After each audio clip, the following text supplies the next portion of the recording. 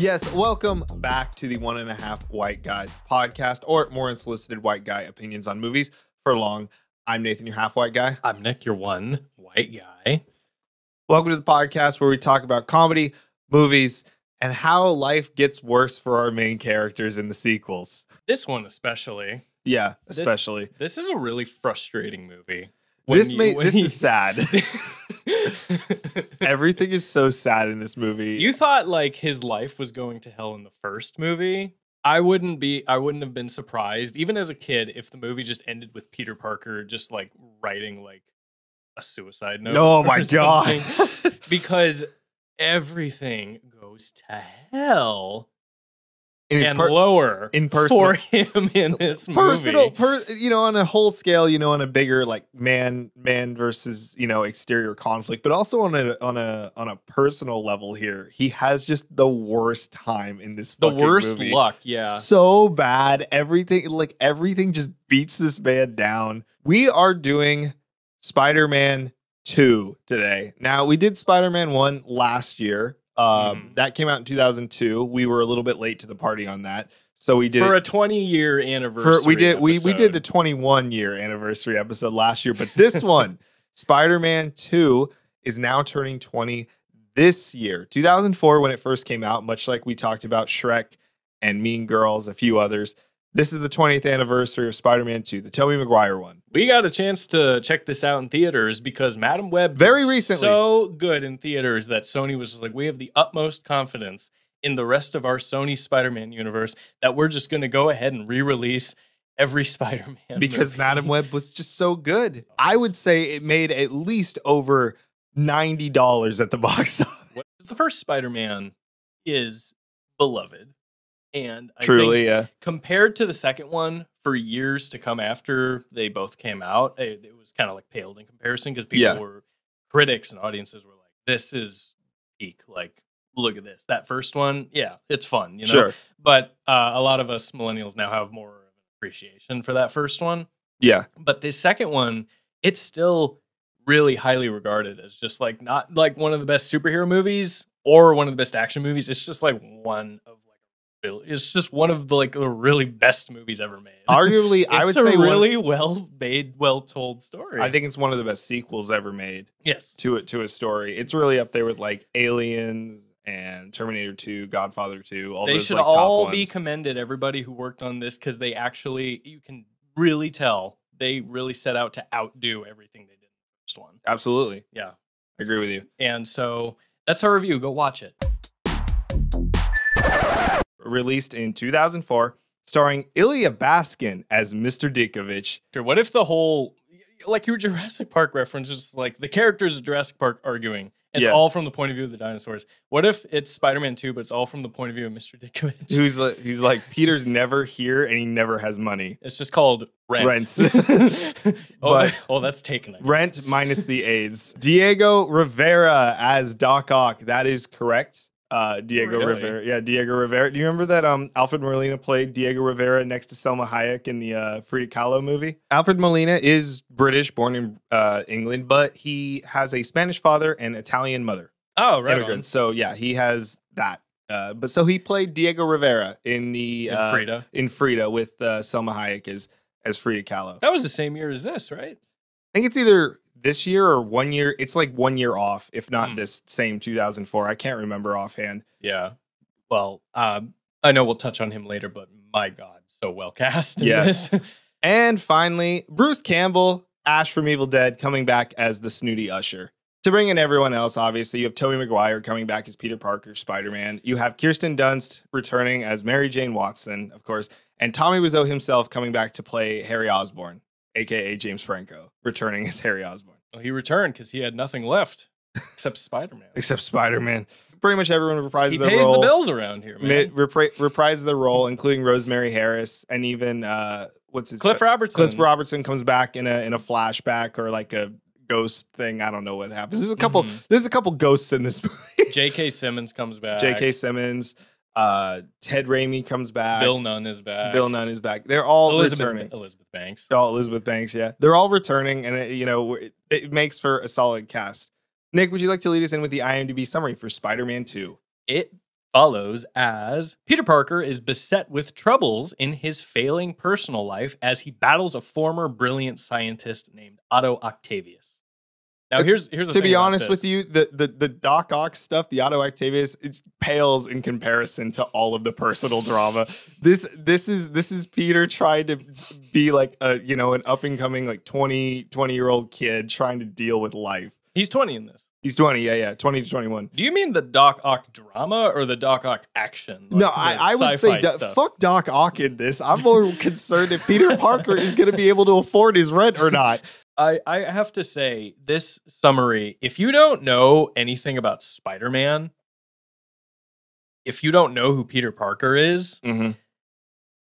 this is probably pretty confusing. It's just like, why is this Peter Parker fella just got to fight a former brilliant scientist? Yeah. Like, fight how? Like, fist fight? like, he stole my girl it's such a it's such a great movie and it's uh, like the next obvious step for a spider-man movie expanding the story, bringing it to new heights, like introducing new problems, new Mm-hmm. Yes. issues, and uh, building on like character development. this this follows the same archetype as most spider-man fans would claim a spider-man story needs to follow there needs to be some kind of element of sacrifice of personal life for the great you know this greater good of being spider-man we need to see our baby boy suffer that is it That is. I- was that- gonna say. that is it like the, spider-man fandom comes down to one thing we need to see this character we all love so much go through hell and we need to see him just like have everything go wrong and ultimately still choose to be Spider-Man. And without that,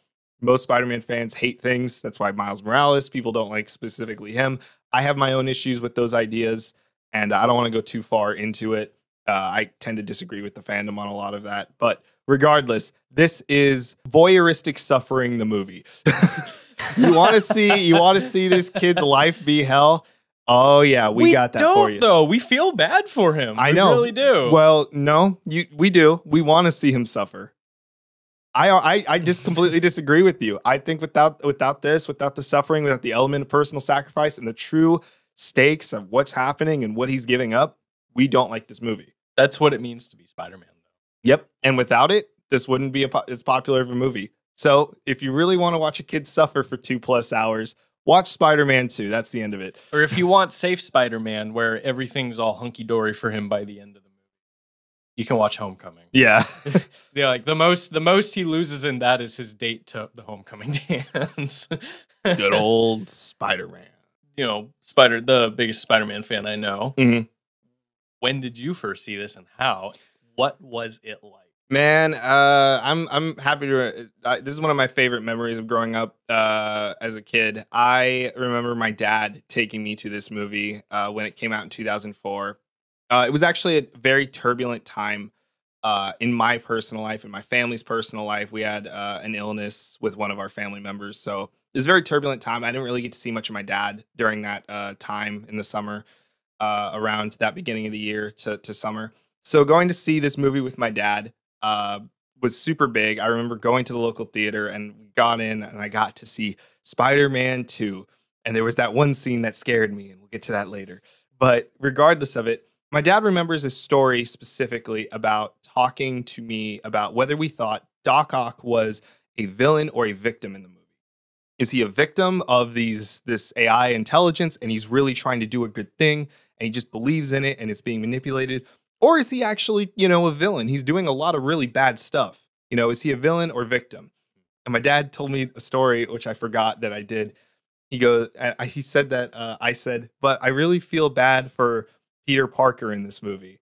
And my dad was like, why? Because of, you know, all the fighting and like everything he's going through. It's like, no, because his bills are high. I, I feel bad that Peter Parker can't pay his rent. And it's just you like, knew. You knew I knew. back then. I knew, and it was deep down. I mean, like this was this was a movie that really locked me into like loving Spider-Man even more. I had grown up with the Spider-Man the animated series cartoon, as I talked about on the Spider-Man One episode. I had seen Spider-Man One. I had played the PS1 Spider-Man video game and also the PS2 Spider One game based on the movie. yeah. I had just like absorbed so much Spider-Man uh, media, and now I'd seen this, and this really locked me in because I was around ten at the time, nine to ten, and this would have been like huge. And I Yeah. remember loving this movie and having that discussion with my dad. And it was probably the first time my dad ever acknowledged it's like, oh yeah, he'll probably do something with like filmmaking and art in the future. Damn it.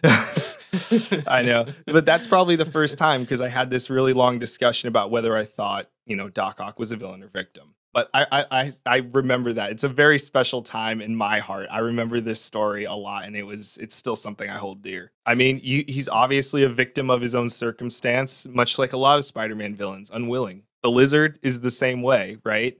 After a while, he doesn't really want to be the lizard, but he has these powers that turn him into it. But the truth is, you know, he wants to do all these things, and you know, he he he wants to pursue his own scientific endeavors, and he believes in the good of humanity. But what are you sacrificing to do it? You're you're hurting a lot of people, and in order to get to it, you almost killed an entire train full of people. he, he- they do write him really well in this. Sure. Enough. Like, yeah, sometimes it's just kind of like he's doing it just for the sake of like, oh, we got to drive this forward. He's Mhm. he's crazy, you know. But they do hint at like his obsessiveness early Mhm. on in the movie.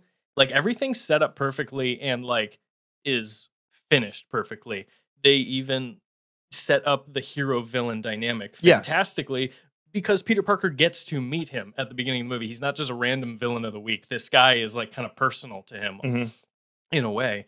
And they end up forming a bond at the beginning of the movie, which makes it uh, which makes it really interesting watching Peter Parker see this guy like end up what he becomes, you know, Yeah. have to like just save the city from him Yeah. essentially. And also try to pull him back from the brink. Yeah. Exactly, yeah. it, there's the there's the bigger dynamic, and again, this is a big good Spider-Man trope. There's the bigger dynamic of trying to save the city from the villain, but there's also the the more personal dynamic of trying to save the person that is the villain from themselves. Mhm. Essentially, like that. It's the same thing with like Green Goblin in the first movie. Once he knew, but it was clear, you know, by the end of it, it wasn't going to happen. Oh, he was far gone. he was a father point. dynamic he was far gone but even in comics and everything you're trying to save this person and get them like cured and like pull them back from the villain powers they have to make them Mhm. whole again Give them a second chance. yeah and so Spider Man's just inherently good, and they emphasize that in No Way Home. what Yeah, about well you when did you first see this even though you can't top that story go ahead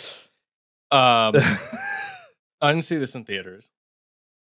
Moving on go ahead, continue continue I didn't get to see any of them in theaters. You- That's why when they all got re-released just the uh, very recently last month, that was uh, we went spider saw, mondays We went and saw all three of them like uh, Monday after the next. It was fantastic. I had never gotten to see any of those. the tobey maguire ones the Sam Raimi ones. I never got to see in theaters, but Yeah. now I have, and the, it was a blast. Like I'm so glad you and I went. I'll post a picture of us going later, but it was so cool seeing all three of them on the big screen. Yes, even the third one. Mhm. And the first time I saw this second one, I went over to my friend Jack's house. Jack, if you're watching, you might remember this. And he's like, because I don't know if I'd seen the first one yet. I Okay. don't think I had. I think I knew what happened in it, but Mhm. I hadn't watched it. I think this one was actually my first Spider Man movie I ever watched. Mhm. I go over to his house. He's got it. He's like, let's watch it. And it was the same thing that happened to you. I, it stuck with me. I Mhm. thought it was really interesting. And I was really scared by this one scene. And we're back. We just remembered we had these. Uh, I was like, I can't. I'm getting thirsty. And then Nick was like, Yeah, and I go, Didn't we get Bugs bait? All right. Anyway, now we're more branding. Whatever. You thought this didn't used to be a corporate podcast. Look at it. I love how this movie all immediately off the bat emphasizes Peter Parker. He's not. He's not doing, Doing so well. well. how many years has it been since the first movie? It seems like it's been like a year at most. You didn't you say two? It's a year or two. It seems like is is I, I forget in, in the movie they they date it, and I think it's only it's been like a year or two. Okay. But uh, yeah, because doesn't Aunt May say like, "Hey, it's like the second year or first year anniversary of Uncle Ben"? Yeah, of Uncle Ben Let's dying, go yeah. see him. Yeah, Second year, yeah, I think so. Year or two. So he's twenty. He's got to be like twenty at this. 20 point. to 21. He's he's getting there. And babyface Tobey Maguire, he's got a little moped. He's a little moped, a yeah. little a little bike because being Spider-Man has become such a burden to him. He wants to do it. You Mhm. know he wants to do it. He gets something out of doing it. He's great at doing it, Mhm. but it is making his personal life just go to hell. he's missing classes at college. He can't hold down a job.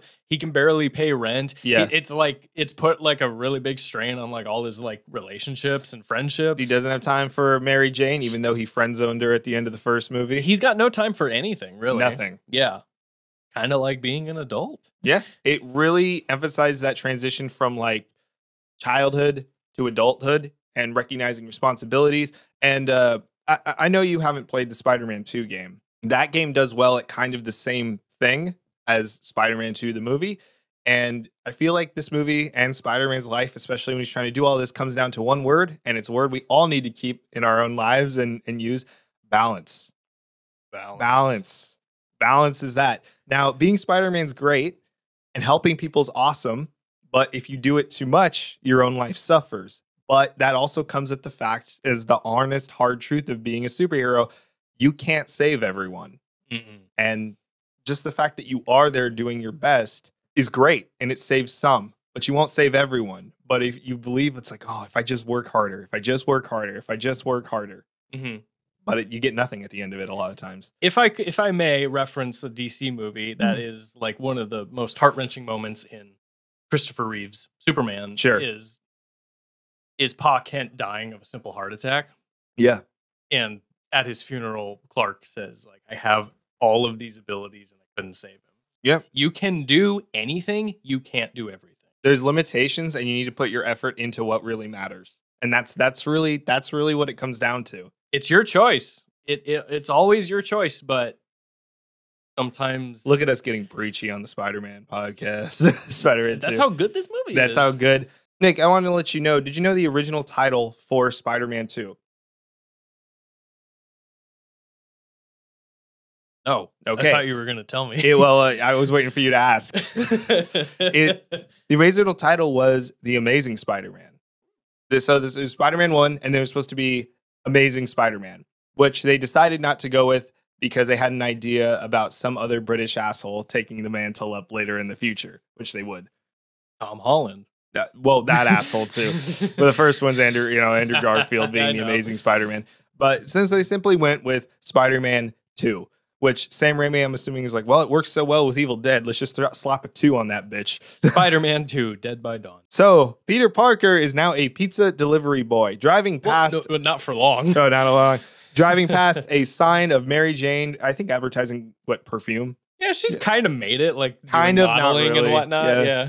Kind of not really. She's an actress, but also a model. Kirsten Dunst coming out there doing well, returning as her role. If we remember, we left her as a waitress at a moon pie diner All right, Enrique, I get you. in in the first one. And Peter is given a task by what's his name? A- Asif Mandvi. Asif the- Mandvi as the uh, manager of Joe's Pizza. Interesting fact about Joe's Pizza as well. Uh, the address for Joe's Pizza is actually the, I think, the address for Doctor Strange in the comics. Oh, nice. Yeah, in this movie, it's the Doctor Strange. I think he's like, I forget if it's like his house or his, you know, the Sanctum Sanctorum. Sanctum Sem Sanctorum or whatever it is. But he's given a job. Hey, you have to get this pizza, what, 25, like 20, 20, less than 30 minutes. less than 30 minutes and you have 10 minutes to do it because you're late here because I need to get this pizza. Because you're always late, minutes. man. Why are you always late? Why are you always late? Where you been? That's these people constantly hassle him throughout the movie about this because he's just he's There was a Kinda dis- busy. there was a disturbance. and he totally fails at getting these pizzas to the place. He Yeah. he, he does cheat a little bit. He just like suits up as Spider Man to like beat the traffic, and that's what the best part of the movie. is just a dude sees That's him it. run into the alley with all the pizzas, and then just sees Spider Man just come swinging out of the alley with the pizzas. Hey, he stole that guy's pizzas. That was actually uh I believe Stan so Nick, another interesting fact, that was actually Stan Lee's cameo. That was supposed to happen. They filmed Yeah. it with him and they decided not to go with that.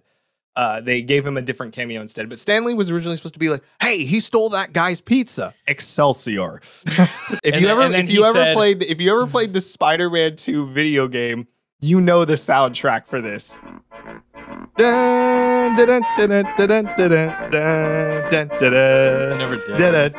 a level where you're running as Spider-Man with the pizza, and that's what you're playing. If you played Spider-Man 2, you know that. That's burned into your mind, the pizza time theme. Hell yeah. Oh, dude. What's the one where it's like if you miss a button, you go splat into the fire, and the lady's That's like, "I'm Spider-Man- going to die." That's Spider Man 3. We don't talk about Spider Man 3, the video game. I'm going to die. He slipped. okay? Being a superhero is hard. and it's his birthday. He doesn't even realize it's his birthday. He goes home to see Aunt May, who's still living in the house. On, Yeah.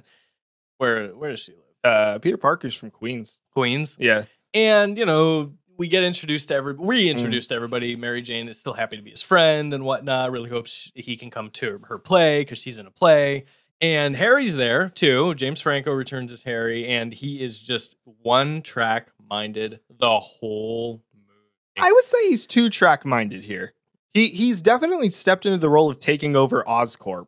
He's Yeah. definitely stepped up and is like trying to lead them in a new I gotta direction. go. I got a board meeting. He's got a board meeting. He wants to. He's taking the reins of his father's company from the first movie and is trying to guide them in the right direction. That's his day job. His nighttime job is trying to capture and kill Spider-Man. He's trying to look for any information because he believes Spider-Man killed his father. The rest of this mm-hmm. movie is James Franco asking Tobey Maguire if he's taking pictures of his friend the Bug Or slapping him. or slapping him for it. in front of crowds of people He's people. not a very good friend. Hey, Harry, I think you have as much mental illness as your father did. You're one lab accident away from being a supervillain already. one movie later. one movie later.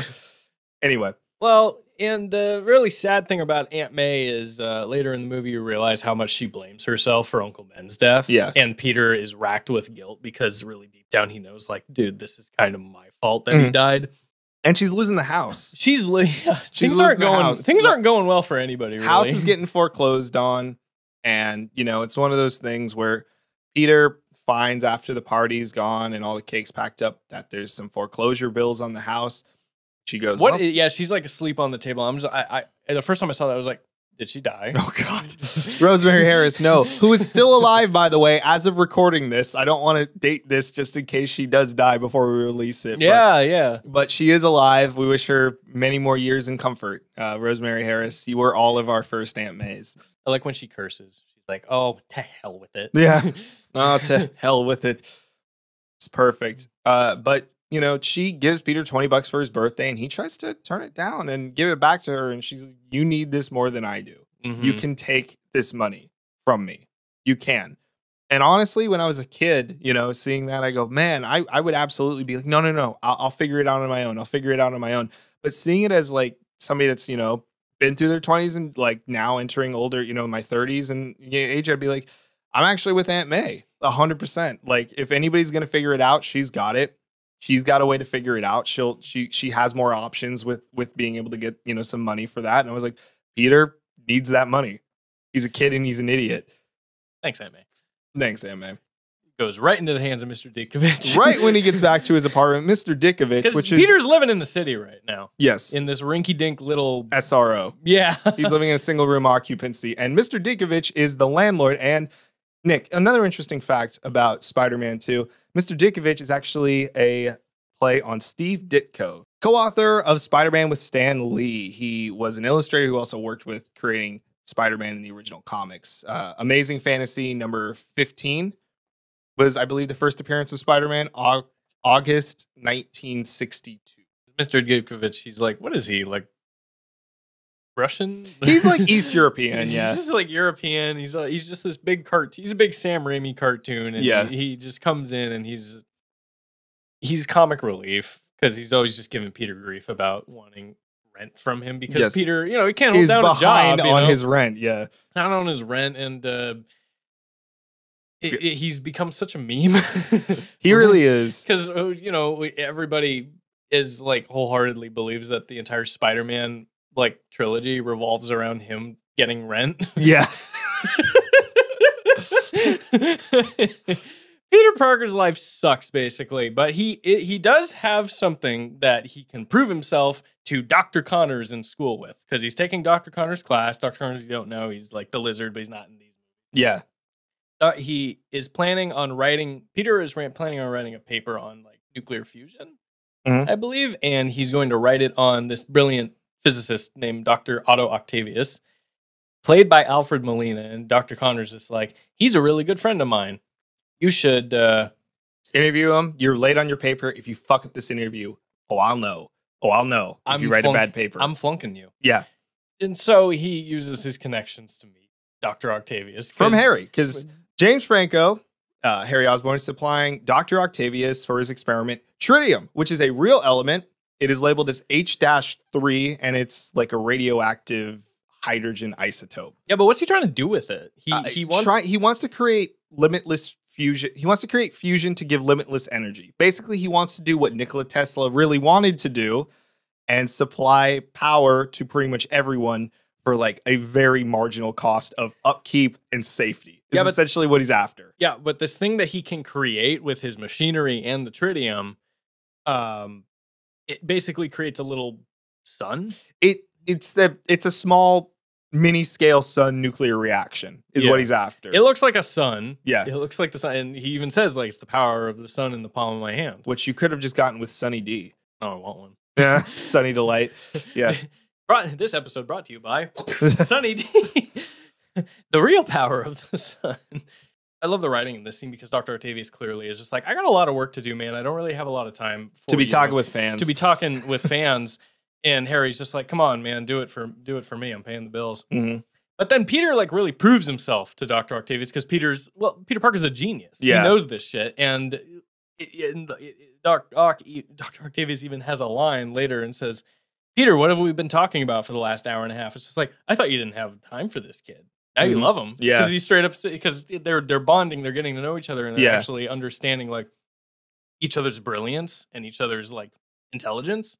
And it's a great way to set up what unfortunately happens later. Yes. Yeah. And it's a good way to have Spider-Man be at the big turning event of what happened what how Dr. To- to what create- happens to Dr. to Octavius. create the villain. And also, I think it adds a different level when you're watching it. When you're watching as a kid, you're like, oh, I'm so glad they're bonding. But really, it's reality. Peter's looking at something that he either can't have or needs to change to learn to have.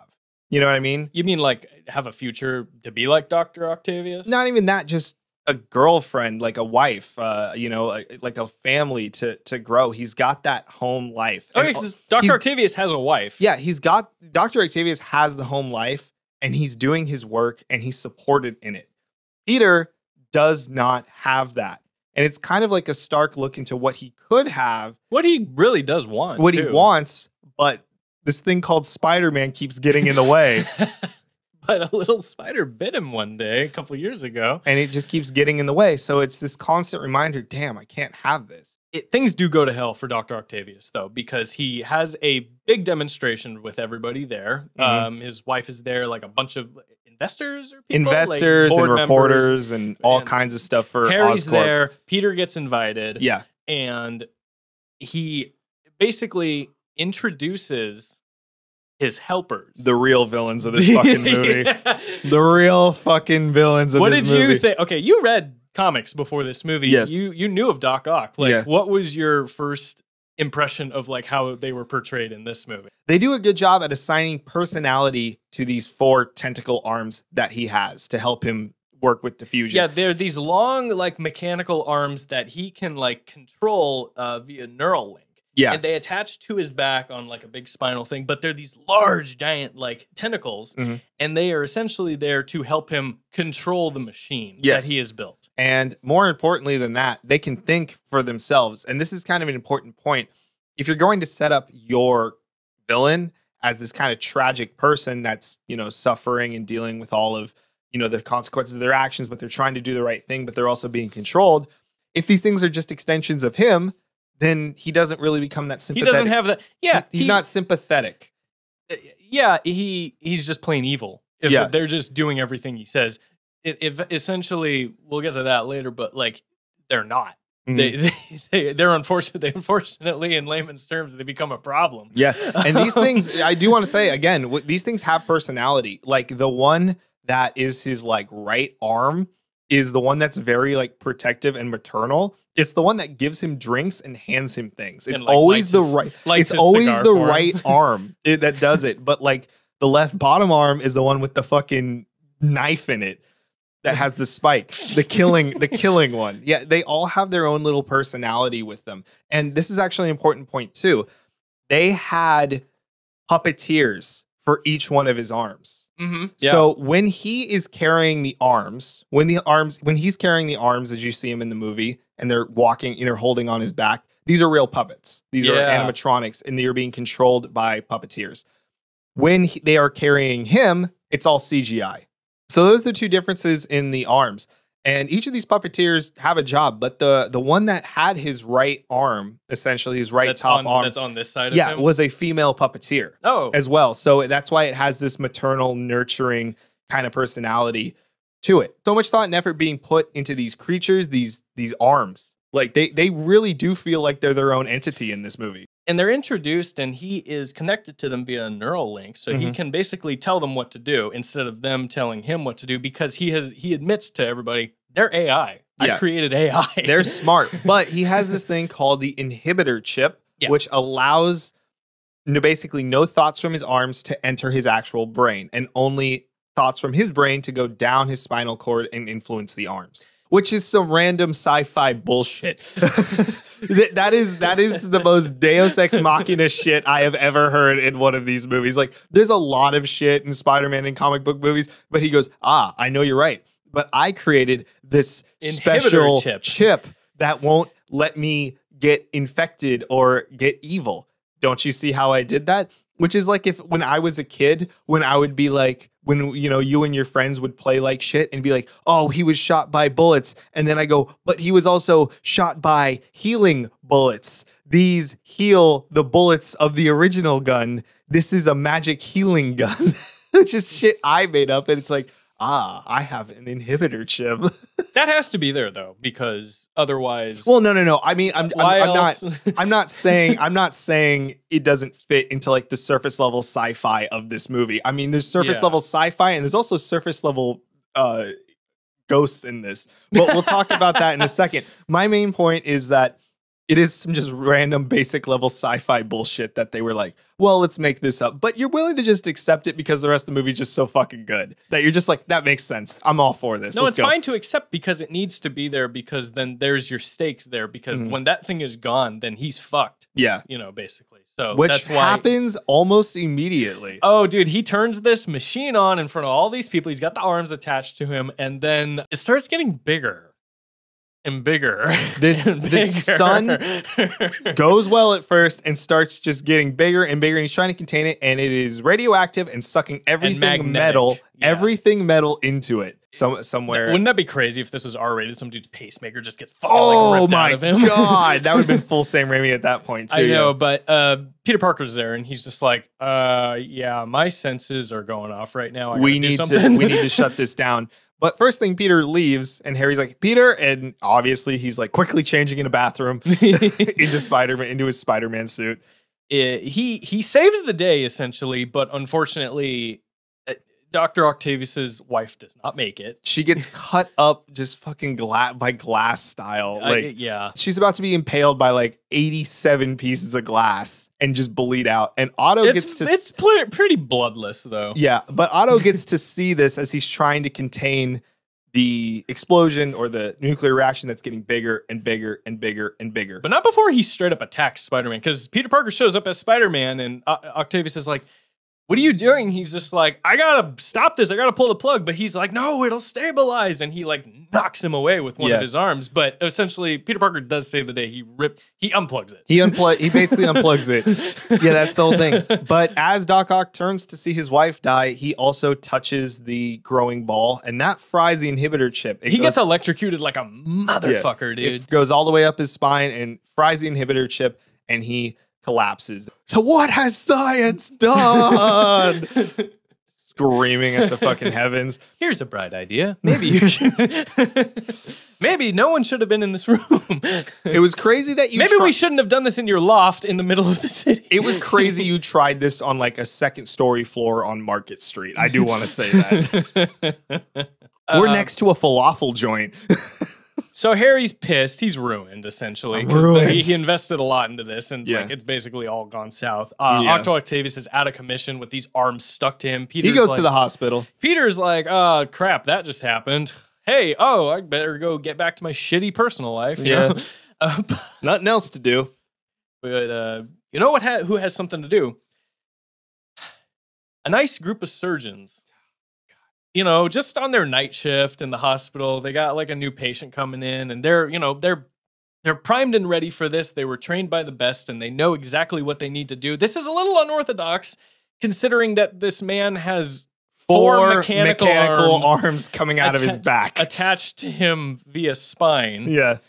but they're uh, they're playing. Otto Octavius is in the hospital. He's still unconscious. Like Yeah. he hasn't woken up. The arms are just dormant. Yeah, and they also specifically say, "Hey, the time that he touched the the sun, the nuclear reaction behind him, and it fried the inhibitor chip, it also fused all of those needles that were in his back that attached to the spinal column to him. He is now fused to those arms. He can't get it off. He of can't. You cannot get them off. At least the, the the conventional way of just like having the needles removed and taking it off. Do you know in That's that, what they were planning to do, though. do you know in that movie? Do you know in that uh, scene as well? Real needles were actually used to to show like the going into his skin. into his skin. Yeah, a few real needles. oh my god! Like Yeah. actually, yeah, Alfred Molina. yeah, yeah, yeah. It was. I know, right?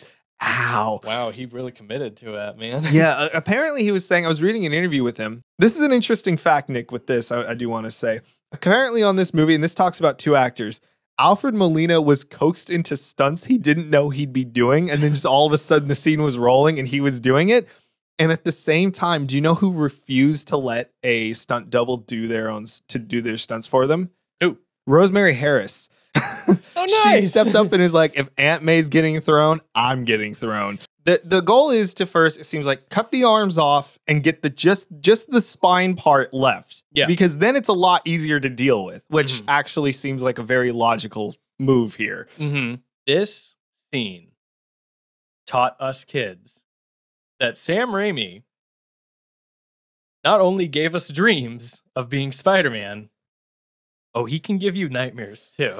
He wanted to remind us as kids, I did Evil Dead. you know who I am, right? Don't ever forget who I am. Maybe these movies like were uh, kind of a gateway to becoming horror fans for a lot of our It might, generation. it might be, but because is- it would coax us to like look into what else he did. Yes, but I will say this. This arguably is one of Sam Raimi's best horror scenes because it is so out of nowhere, so well done, so tonally shifting of the movie that it I don't know. You have horror so scenes you have- abrasively, inherently, unapologetically, unforgivingly, like violent Mhm. and chaotic. you have you have scenes in horror movies, right, of pure blood and chaos, and you can watch stuff like Terrifier 2 and Hostel, and you for all that was like big freak out. Terrifier Oh, too. Terrifier 2. Like just horribly like stone cold stop you in your tracks type of bloody um horrific moments. And I do not feel it has as much of an impact as this particular scene. And I know we're talking about it a lot, but this scene arguably is one of Sam Raimi's best scenes he's ever done because of where it was, the time it was made, what movie it's in, and the tonal shift it caused through the rest of the movie, especially to a bunch of young viewers like myself and me. And and and Nick. I left the room. I left the room every time this came on. It it took me years to actually sit down and like watch this scene again. but basically, the surgeons plan to cut the arms off with buzzsaws. Mhm. And the arms wake up. The arms don't take too kindly to that. this is a massacre that happens because the guy is like, anyone here take shop class? Ho ho ho ho. And then he thinks he sees something move.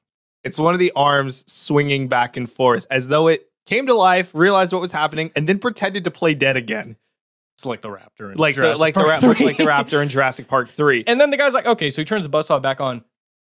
And then he sees, because they're all wearing goggles, he sees a reflection in one of the guy across from him with goggles, the arm behind him. Yeah. He turns around and the arm home runs this motherfucker across the room into a window. there's no music playing in the scene. It's dead quiet. It's de- no, no. well, except for the ex- except for the It's- screams of the surgeons and the arms. These screams of panic and terror and confusion and just death are visceral and they go right through you. It's like it, I, I can only like I can only compare it to like when they're screaming for Josh in the Yeah. Blair Witch Project. You're just like you're just feeling everything, man.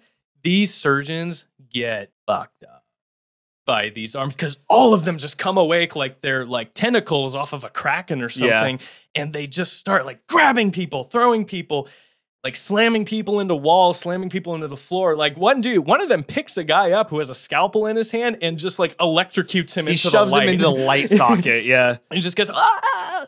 and one lady just like gets dragged across the floor like clawing the floor with her nails like screaming for her life Interesting. I, I have another Oh fact about that God, scene. I have are- another fact about that scene. You know how they did that effect though? Yeah. They could not figure out for a bit how to get the the fingernails pulling up the floor, you know, thing. Usually you see that in horror movies, especially with like wooden floors. It's the it's the dumb college girl that went out to like the cabin in the woods or something like that, and some hillbillies like dragging her in to beat her to death with like an axe or something like that. i love her up. and dale versus Yeah, yeah. evil and she's pulling up the floorboards as she's going to screaming no. They couldn't figure out how to do it on the hospital floor, and apparently Sam was like, "What if we just covered the whole thing in like candle wax and like layered it and like made it flat?" They're like, "Oh." so all of a sudden it just like makes sense where like her fingernails are pulling up the candle wax as Yeah. she's dragged. this It's a- one doctor it's is so just- practical of an effect. I love it. and it's terrifying Yeah. because like the, the, it's terrifying she gets dragged into like this dark corner you never see her again as she's like as her nails are just dragging this floor like one dude just get, like one of the arms just like grabs the dude by the head it's like a face hugger just Yeah. got on him like these things are laying waste to everybody in this room doc ock uh, uh, Dr. is asleep. he is unconscious this whole time and that's like this that's kind of like the scariest shot of it when it just kind of like when it kind of when the camera kind of like dollies up to him Yeah. you realize he has no idea this is happening right now he's asleep yeah, he's completely unaware he's of his completely actions. asleep fantastically gets the point across these things are very these things are dangerous These things are very, very much not to be fucked with. These are very, very strong, very capable, very smart, and very quick arms. When they decided to film this scene, there's two types of, again, we talked about the two types of uh, effects at work here practical and, you know, CGI and Mhm. stuff. There, again, is both in these scenes, and they're Yeah. cut interchangeably so well, it's hard to tell which is which. I think as time has gone on, you can tell a little bit more. Oh no, because like the faraway shots when it's just you know the table's in the center and the arms are moving and like grabbing someone, Yeah. grabbing someone. You just that's CG, you know. Some of it, they actually built Really? 13 foot tentacles for each of the arms to be used by a puppet master Mhm. to like grab. And basically, when it has to do, I think arguably when it has to do more refined movement that's not close in, CGI then, right? But when it's doing its basic lunge and stuff, all practical. No way. And like Sam was Sam Raimi I said I was reading an interview with him that he was like super behind the production crew doing this because you know practical was how he had done Evil Dead. I don't know, he had like nine dollars and an idea when he did it. I mean, if you ask any Evil Dead fan, they'll tell you how much exactly he had. They so for some reason, Evil Dead fans, hardcore Evil Dead fans, are the ones that know the most about their movie 100% through. They know like everything. Apparently, it was so expensive to construct these 13 foot arms and shit was in such short supply to create it because also the Iraq war is going on at the time. Yeah, the Iraq yeah. war is going on at the time with like special materials and stuff like that. They had multiple levels of security to get access to the arms. They had like this these things locked down to make sure nobody would steal anything because believe it or not, a couple Spider-Man suits got stolen from the first movie, Oh, wow. first Spider-Man movie and it took a while to recover them. There's no blood in this scene. No blood. There's no on-screen death death on Mhm. this scene. I you can tell these people are getting like Oh no, they're dead. smashed. They're 100% dead. Like smashed, impaled, like crushed, like uh, like thrown. Just just a, you you know these people are dying horribly. but you just can't prove it. You can't, but you can't see it, and that's what makes it even scarier. Is it's because you don't see what these things are actually doing to these people. Yeah. Like the, it's edited perfectly. Like that last guy who gets the you know Ash's chainsaw. Yeah. he tries like saw sawing one of the arms, and all four of them just like look at him and just go like, "Oh, boom!" Doctor Octavius wakes up, immediately deduces what has happened, He's And- very aware and something gives- went wrong. and gives a good old Darth Vader no. well, after after he flips a cab over trying to leave the hospital no, he leaves, and the arms and rips are- the door off the wall. But he starts to notice the arms are escorting him. yes. they're they're protecting him. He goes to a little hideout on like what the Hudson or something. Yeah, that's a custom built set. Oh, right. That's on. an custom built set. Apparently, it took like a month to a month or two to build that, like that actual custom set to be used. Mhm. And you know, that's also where the finale takes place, and that actually took 18 days to film. I was reading, yeah. So it's this like little rundown dock shack boatyard at something. Yeah, by the end of that movie, Spider Man's had enough of his shit. By the way, he really like lays into him and like in that hideout at the end of Yeah, the movie. But he's there. Doc Ock realizes I've lost everything. I've lost my research. That's failed. My wife is dead, and now I'm a fucking monster. but he's hearing something in his head. No, apparently the arms they can talk to him now. Oh, yeah, they're like talking to they're him. they're putting all their thoughts into his head. He can hear everything they're saying. You can't hear them, but he can. Alfred Molina is so good in these scenes Yeah. where he's got to just basically talk to himself. yes, he's and, acting and, and acting opposite these puppets. Like, yeah, tr- like convincing him and like you know egging him on, just like no, we can do this, we can do this again. And he essentially gets pushed to try again. rebuild the yeah. machine. Yes. But that takes money.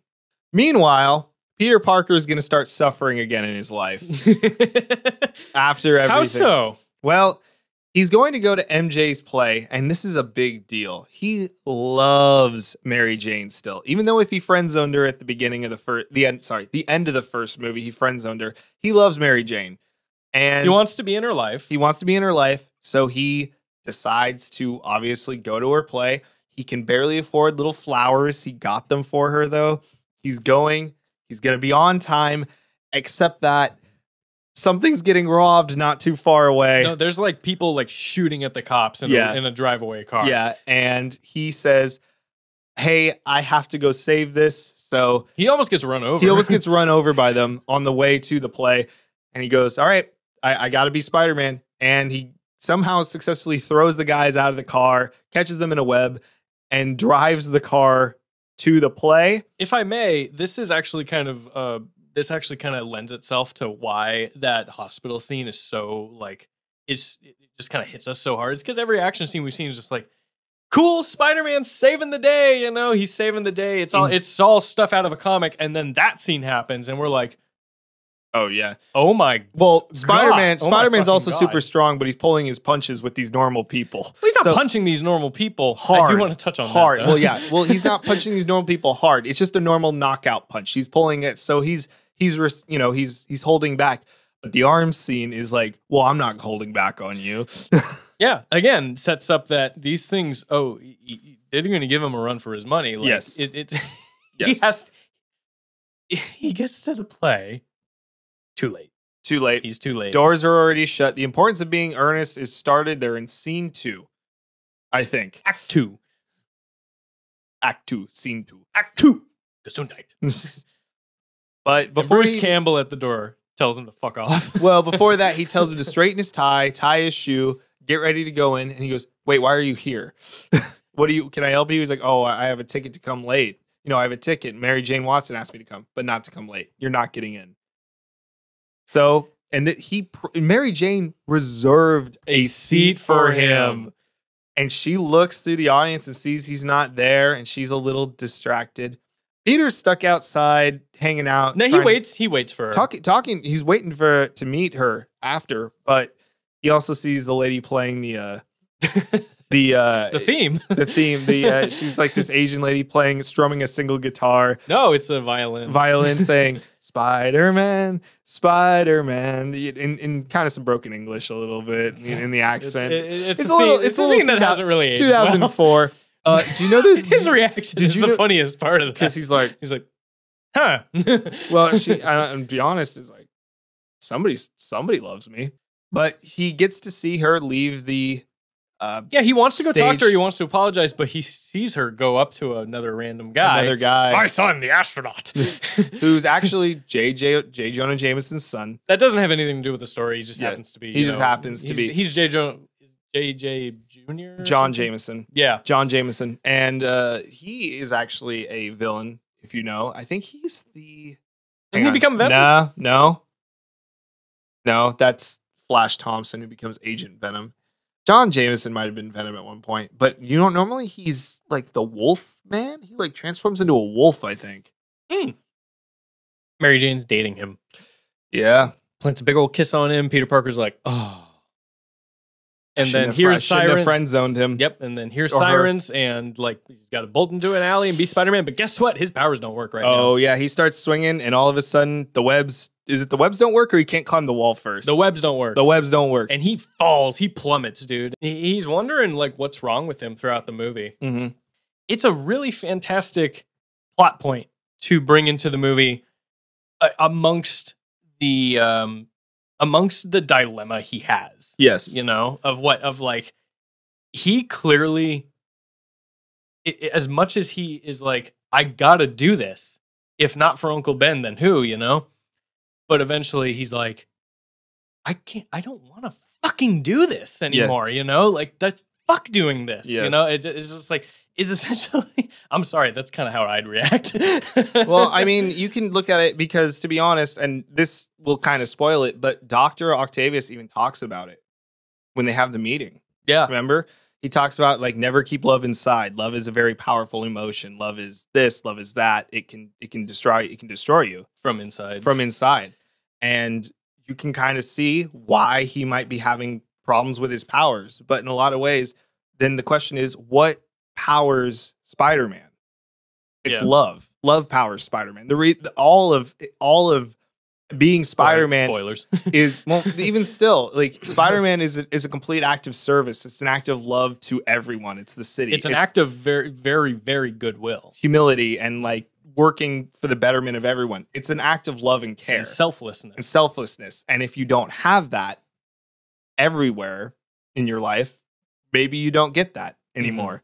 Peter Parker and Aunt May go to the bank because Aunt May's like behind on her like bills. I They're guess. trying to solve the whole mortgage situation and yeah, yeah, whatnot. But like, coincidentally, coincidentally, Doc Ock is there, looking like the Unabomber, trying to rob the bank. All the arms are hidden under a trench coat because he needs money to rebuild the machine. yeah, he needs. He's going to try again. Where does he? Who does he sell? Who does he give the money to? Just I'm the black assuming market. the black market. He's on the dark. he He's on the dark. He's he on the steals dark net. money bags. Which He's is on the like- dark net. which is so comic book. I love it. He money bags with the money logo on the, on in front of it. Yeah. yeah, yeah. he rips the safe off the wall. Safe wall, just com- door completely out of the yeah, wall. yeah, and chucks it, and Spider Man's like, "Oh, well, how convenient." He dons his Spider Man suit, and he has this Leaves really. He leaves Aunt May. Aunt May. That's the cool thing about Aunt May, though, is that she. You brought this up to me when we saw this in theaters. Is that By the end of the first know- movie, you have to know Aunt May's straight up nosy Spider. by the end of the first movie, she hundred percent knows he's Spider Man. Because- Like a hundred percent. By the end of the first movie, she's like, "Why did Green Goblin target me?" and then she's listening to Peter talk to Mary Jane about Spider Man, about what he thinks about uh her. You And know, then that- she's like- and Peter's answering it in the most. I, I- yeah, or something like that. the most awkward way possible about flirting with her. And Mary Jane's into it. And Mary Aunt May wakes up and like I was like, dude, she hundred percent knows he's Spider Man. Like that's hundred percent Spider Man. He's Spider Man. Like how else would the there's like eh, there's too many things that add up. finish it. Uh, but he has to save Aunt May from Doc Ock because he Doc Ock is stealing money and Spider Man's trying to stop him, but then he takes Aunt May hostage. This is a great fight. All the fights in this movie Mhm. hold up, and you can tell this is where you have to respect everybody who works in this movie. You they are straight up 100% trying to outdo themselves from the Mhm. first movie because Everyone on this movie is hundred percent professional, working hard. yeah, because in the first movie when he's fighting Green Goblin, it's very I'm sorry, it's very Power Rangers, like how they fight. Yeah, lower budget. And I, I do want to say this as well. Alfred Molina has gone on record and say the crew of Spider-Man 2 is the hardest working, most dedicated crew I've ever worked with. Oh no shit. He specifically said nothing else has ever topped how much people cared about their job, Mhm. loved their job, and worked hard at their job. Every single department, he said, outdid themselves incredibly. and it shows. uh, um, especially the visual effects department. Of course. that's what it won the Oscar for, and you can tell they upped the ante on the visual The effects. visual It's effects, yeah. so believable watching him swing through the city in this. So much more believable because like they they staged this. This fight starts in a bank and then just ends up on the side of a building, and it's it looks great. Yeah. to this day, looks Still re- looks when they're really like, good. when they're free falling down the side of a building, like punching each other. Yeah. It's so it's fantastic. I love these fights. And they're on top of a train, like the arms are just swinging after him. The arms are giving him a run for his money because they're Well, not pulling the not- not- punches. they're not in the train this one yet. Not yet. I'm talking about the train. Oh, okay. I'm Okay. just mentioning the train. But yeah, he's starting to get an idea of like, oh, these things are a problem Yeah. because one of them's trying to stab him. The other one's got Aunt May. like two of the other ones are like holding on to the building. Aunt May has a superhero moment though. She sees that uh, Peter Spider Man's gonna launch over to her building to save her, it's pretty sweet knowing that she knows it's Yeah. And she sees that Doc. Which she's okay with having a fight as long as it's all fair and square.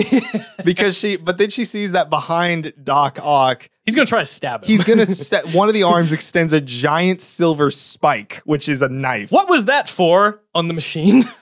what was that spike gonna do? Stabbing the ball, I So guess. it's like it's like RoboCop's fucking like spike. yeah, it's like what the fuck is that for? But she goes, cheated. Like, oh, shame on shame on you. And she whacks him in the head with the uh, umbrella. that does more damage to him than Peter does punching him. And here's the thing about Peter Parker fighting Doc Ock in Spider-Man 2. Peter Parker is a superhuman. yeah. He is extraordinarily strong. Okay. Spider-Man has been described, I've heard, as being statistically almost as strong as the Hulk. He Yes. is extremely strong. Yes. Like this is the same strength he used to beat down the Green Goblin Yes. successfully, just like punch over and over again. Who was another extraordinarily strong superhuman? Doctor Octavius is not superhuman. He's just Peter- a, he's just a guy with arms. He's just a guy with very strong arms attached to him. Peter Parker punches him in the face multiple times in this movie and does not kill him somehow. you know, you know what I'm talking about? He hits him so many times. Like he's actually like hitting him, you know? He's Yeah. like he's got to deflect the arms, but it's him he's going for every time. Yo, no, know? he doesn't punch the arms. He punches him square in the face. go to sleep. Go to sleep. Go to sleep. It doesn't work. But I'm thinking like he's hitting him, but like Doc Ock is like not going down. So I'm like, okay, well, I guess he's pulling his punches, but at the same time, I'm just thinking about the end fight in Spider-Man One where he gets so pissed off at Green Goblin, he is just holding him against the wall and he just keeps hitting him, Yeah. like bringing him back up, hitting him, bringing him back up, hitting him. I'm like, that man was superhuman. He kept knocking him down. Yeah. Like This Doc man, Ock's just a guy. this this man, this man in an octopus fetish is dead. It's like when we did the first movie. It's like when he punches Flash across the hall. How's Flash? He's dead. He's dead. You punched a hole through him. Dead middle of his chest, dude. Like stopped his heart. Jesus, Parker, you are a freak. You're Yeah. next, Blondie. like, Get over here, Sugar Ray. I, I'm sorry, but do you agree that's like kind of like that's kind of one of the things in the movie you kind of have to get past? I'm assuming the only thing we can give is that the arms are like, keep the brain away, keep the brain away, keep the brain away. If not, we all fall. Just like keep them up, keep them up, keep them up. I love that one arm that like when they're free falling down the side of the building, that one arm is like trying to grab onto the building to save them. it's like, oh shit, Fuck, fuck, fuck, shit. fuck. it's a great fight. The visual effects, like they top themselves. They get a little. They look at their best in this movie. I think the th- Yeah. in the third movie, sometimes they look fantastic. Sometimes they look like worse than the first movie. Yeah, we love this movie. You guys should I absolutely love see, this see this movie movie, and we'll talk yeah. about it more in the in the rating.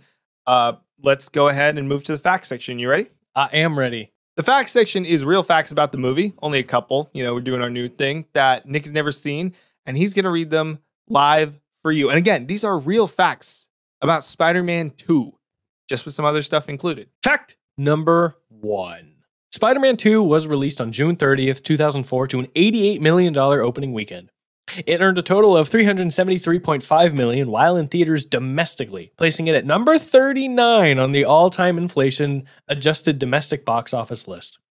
Some of its competition in the summer and fall of 2004 included Dodgeball, a true underdog story starring the Zoolander himself, Ben Stiller, Napoleon Dynamite, starring the first Latino president, and finally Seed of Chucky, starring trans horror icon Glenn slash Glenda. I don't know, I'm trying not to dead name them.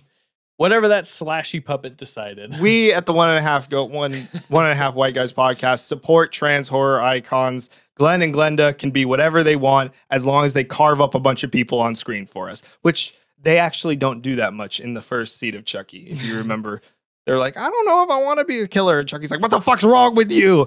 He has no problem with his child being trans. He has a problem with his child not wanting to kill a bunch of people which is how parents should be disappointed at their kids. Not actions, not who they are.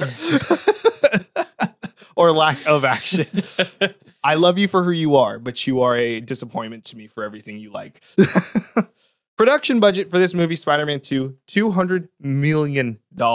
They they threw money at this. They Today, really wanted dude, today to improve that's this. like an average blockbuster today. yeah, Yeah. yeah. They really threw money to make sure this worked. Because the first one killed they it. killed so much and they, when they were you know it's the first movie and yeah it's gonna do well but when it when they were like actually spider-man one's really fucking good we we couldn't make a lot of money doing this yeah. so 200 million international numbers 41.2 million internationally total box office revenue while in 2004 795 million dollars for spider-man 2 for 2004 it falls to number two on highest grossing can you guess what number one is i know you know it 2004. 2004 Shrek 2. yep shrek 2 Yeah. Shrek 2 beats it out, but not by like a ton. Re release numbers, at least what I got, and it doesn't seem accurate. $29,000 does not seem accurate. I'll be honest with you. It doesn't seem accurate that it's only 29,000, especially when I know Shrek 2's re release got a million. Yeah.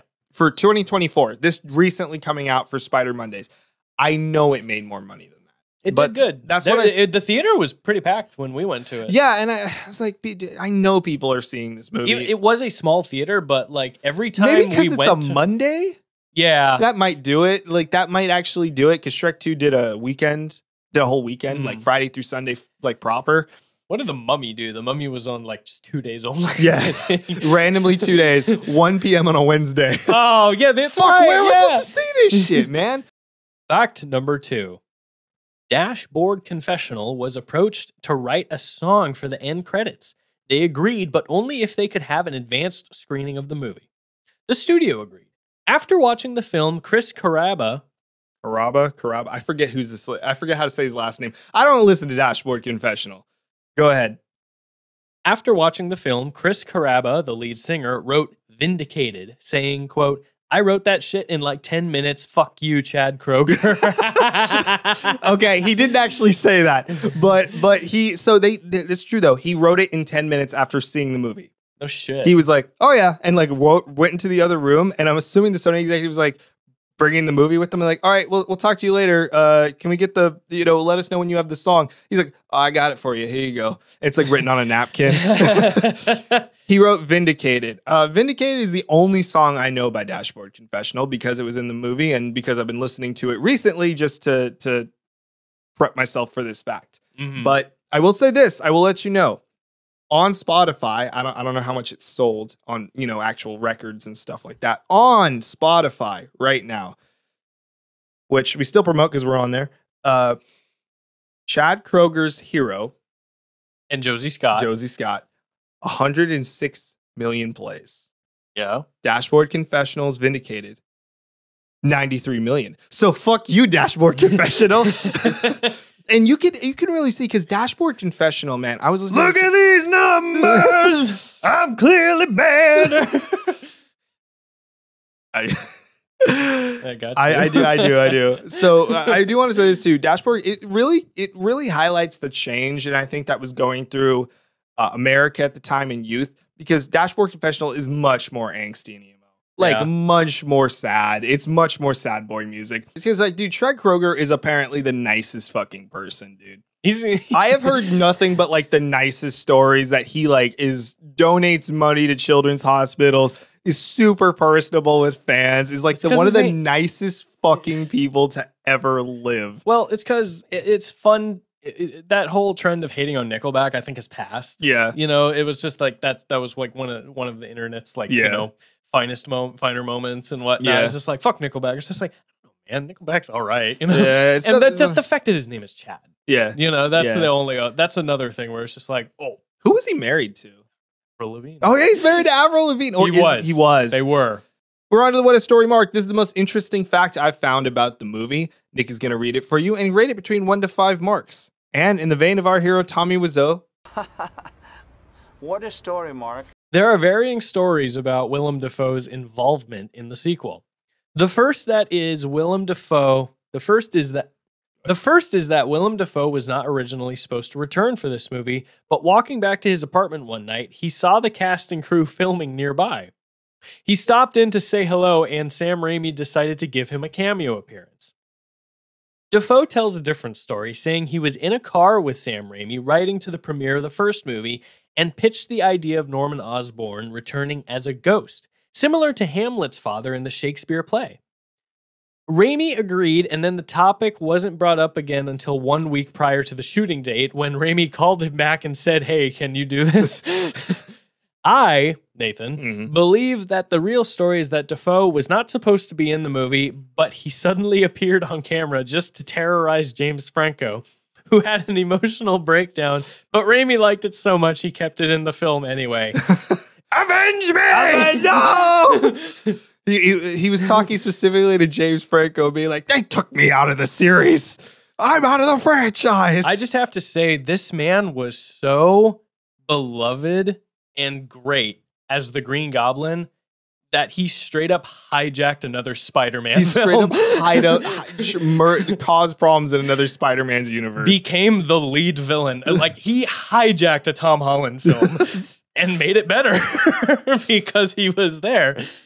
That like we owe a lot to Willem Dafoe. We do. for We these do. super for for this superhero genre. He We- really he brought a lot to he brought He- a lot of complexities to to to a supervillain. He's role. really the, the the model supervillain. What a supervillain should be. Yeah. He's both likable and also truly just crazy and you gotta evil. stop. You gotta stop cr- him. crazy and evil for the sake of being crazy and evil. Yes. So uh, the reason we're selling that's the reason we're selling the company to Disney. What? oh, you can't do this to me. Oh, what I sacrificed. Uh, this is a great fact, and it's a funny joke. You get a four out of five. Four out of five. I can't tell. I, I'm I'm willing. I'm more inclined to believe Dafoe's version of the story. But that, like one of the others, is like, oh yeah, he was just walking by, and I was like, I think that's the story of how he got that other cameo in the bonus features. But they swear, no, no, no, he was not supposed to be in this movie at all.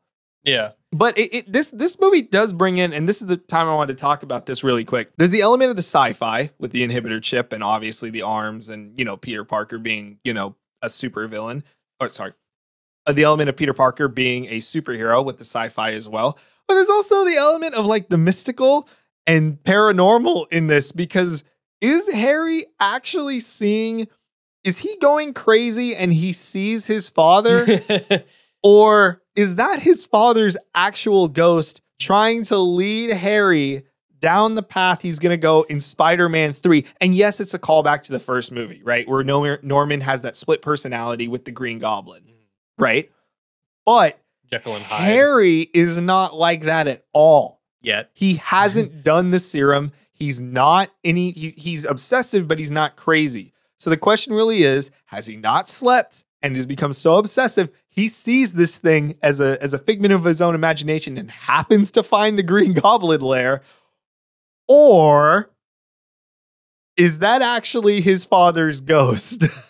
Or Norman Osborn really did have suppressed uh, multiple personality disorder, and the serum brought it out like no, I, I. I out agree. completely, and it has been passed to Harry regardless. Somehow. Well, yeah, genetically, you may say that. So, but which applies to the first part, right? Because is- the serum in the first movie, it really does. It it's kind of like a weird comparison. It's kind of like the mask. yeah. When Jim Carrey puts it on, he becomes like this really perfect version of himself, Mhm. albeit being a cartoon. The serum makes Norman Osborn the perfect version of what he wants to be. Sure. But that comes with him kind of realizing like split personality and this version of me wants all this. This version of me doesn't want this all, this carnage and Yeah. whatnot. Is that the serum, or was that always there? yeah. You know, We talked about this in the first episode for Spider-Man when we talked about like it could be either, you know, obviously, and Mhm. you know, there's something to that. But Harry hasn't done that serum yet in this movie. And so the question really is, what is he seeing? Uh, Is there is there ghosts in this universe? Because he uh, Harry, Peter also sees Uncle Ben. that's He has a conversation with him, and it's is yeah. You may say, "Hey, he's that's having a- that that's in his head. Yeah, It could be. could be. It could be. That's a that's a rip your heart out moment. Yeah, I know. And Yeah. I agree with you. where he but- turns, where he's just got to. I don't Uncle want ben this down anymore. Yeah, yeah, I don't I can't do this for you, Uncle so Ben. you're gonna man. let me die one more time, Peter? Huh? like well, gaslight him. Yeah, Uncle okay. Fuck you, Uncle Ben. but see, that's the same thing. But he's also, ha- but he's having this full out conversation. Yeah, it might be happening in his own head, but is Harry's happening in his head, or is it happening r- for real? Same question. Are there ghosts in the Spider in the Sam Raimi Spider-Man universe because he's a horror director? Could be. I don't It's- know. Well, there's aliens. It's definitely aliens. So you you can ask yourself this question uh, as you watch these movies again and be like, are there ghosts in these movies? It could be. He said, I mean, Nor, I mean, uh, Willem Dafoe said, "Hey, I want it to be like, uh, you I know, want it to be Hamlet. Hamlet's ghost, Hamlet's father's ghost, as he appears to him in Hamlet, just like Shakespeare, and that's a ghost for sure." you can argue the ghost bit easily because him his conversation with his father leads to him finding his father's secret goblin. Yeah, he smashes the mirror, and oh my god, what's all these bombs doing? Oh, it gives it a wall the whole time. Oh, oh my god! I could level a city block. Yeah, Right, right. Oh my god! I'm going to be on a watch list. if anyone finds, I'm going to, I'm going to Guantanamo Bay. If anyone finds this, it's post 9-11. I'm in a lot of fucking trouble if anyone finds this. Damn right. in New York City. Oh no! This isn't oh, good. No, Yeah, I'm a CEO. this is not good. Out of a hundred, how much did I give the original Spider-Man? Man, this is just as good, if not better. Uh, Spider-Man Two. Listen, I love Spider Verse more. I'm always gonna give Spider Verse more. Back. Live reaction right now, I'm thinking it's like a 94. I'm gonna give this one a 94. Hey, yo, dude. Same. 94. So that, that's a 94 for Spider-Man 2. I didn't even need to do, to do the math there. It's one of the best superhero movies. It's probably the best, you know, arguably the best live action Spider-Man movie. It's it's just a good movie. It's a really good action movie too. Damn right. yeah. Uh, highly recommend. Watch the first one first, because what everything the first one sets up for this one makes the makes the punch all, all the more impactful of this one. So Yeah. uh, comfort superhero movie, absolutely. We're going to play something similar to games we played before. Spider-Man has been around a long time. There's a lot of really weird villains he faced. So Yes. again, welcome to a show called Spider-Man Villain or Chat GPT Bullshit. Essentially, this is how it goes. One of these is a real Spider-Man villain. One of these is one I had Chat GPT write for me. All right. So I'm gonna give you one and two, and I'm gonna let you guess who is what. Some Rise of the Machine. Yep. coming Let's see if you do it. me. Okay. The first one. The Arachnicar. Yeah. A real villain from the 1970s in Spider-Man. He's a failed car thief that stumbled upon a gene splicing lab trying to figure out how to replicate Spider-Man and accidentally gets imbued with the powers of Spider-Man at a lesser level and uses cars to drive around the city and steal shit. That's his whole story. All right. The other one I got for you. You're, you're going to be like, what the fuck? The other one I got for you is also from The Amazing Spider Man. It's number 100. Actually, not number 100. Sorry. It's Amazing Spider Man in the number 100s. And that this guy's name is the Big Wheel. That's his whole gimmick. He has a little motorized car that is just a giant wheel and he rides through and steals shit. Spider Man has to do. He rides through, smashes through the bank wall, just grabs shit and drives out. He's like a giant tricycle, except it's one big reel. You know that shit in Spy in uh, I hate to bring this movie up, Revenge of the Sith that General Grievous rides around on. that one fucking thing, one giant wheel. That's what he's doing.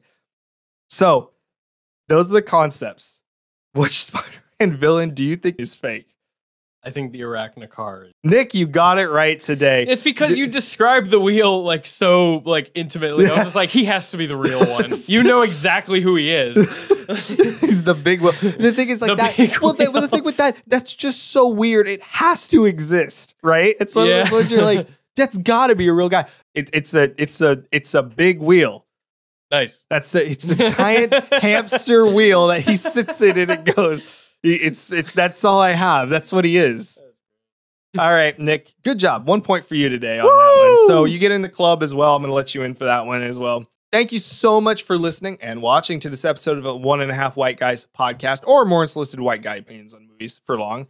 Be sure to rate us, follow us, and subscribe to us wherever you are listening to this podcast and where you get your podcast from. And don't forget to follow us on our Instagram at One and a Half White Guys Podcast, on TikTok at One and a Half White Guys, and now on our YouTube. Hopefully, where you're watching this at One and a Half White Guys. And be sure to tell a friend to listen to the podcast where we say we're going to talk about a movie and we uh, kind of talk about the movie. I don't know if I'm supposed to be that podcaster recording that that episode over and over. What do you think? Well, my friend, my friend doesn't know if he's supposed to be that podcaster. Maybe you're just not meant to be making these podcasts. All right, everyone, we'll He's see just you. like- he just- it's now just the one white guy podcast. Welcome back. Cut to you. You're just raindrops keep Keep on- I- falling on my head. What it, what it means is my life is much better without this podcast. anyway, guys, we'll see you that next part time. where he fucking just the guy's getting beat up in the mm-hmm. alley. He's just he's like when big there's a cut of him like eating the hot dog as the guy's getting beat up. God. All right. See you guys. See you Help! next time. Help! Bye. just walks away.